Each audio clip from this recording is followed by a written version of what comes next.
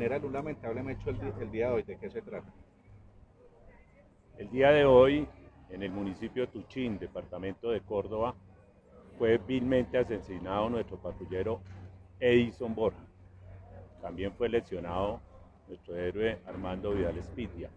Estos dos policiales se encontraban prestando su servicio de modelo nacional de vigilancia comunitaria por cuadrante cuando fueron atacados por dos individuos quienes se movilizaban en una motocicleta.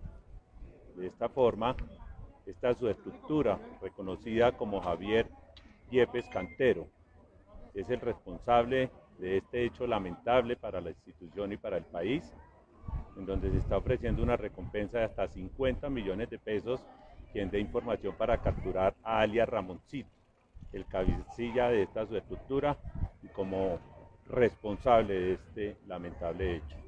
De igual forma, queremos presentar un saludo de condolencias a la familia de nuestro patrullero asesinado y de nuestro patrullero lesionado.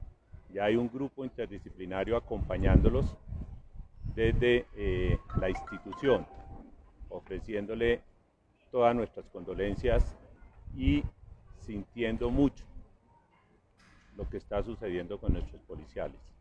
De esta manera, señor director de la policía, mi general Jorge Luis Vargas Valencia ha ordenado para que se desplace un equipo especial de la DIJÍN para adelantar la investigación y poder capturar a estos delincuentes.